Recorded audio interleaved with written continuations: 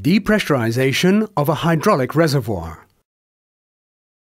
Make sure the hydraulic system will not be pressurized during this task. Open the access panel to the hydraulic ground service panel. The direct reading gauge on the reservoir will show the actual air pressure inside the reservoir. Wear the proper protection when you open the depressurizing valve. The air can be hot and contain hydraulic fluid. The gauge on the reservoir will show the decrease in pressure. Make sure the valve is completely closed. If the reservoir needs to be depressurized for a longer time during a maintenance task, a special tool needs to be installed. Unscrew the normal depressurizing valve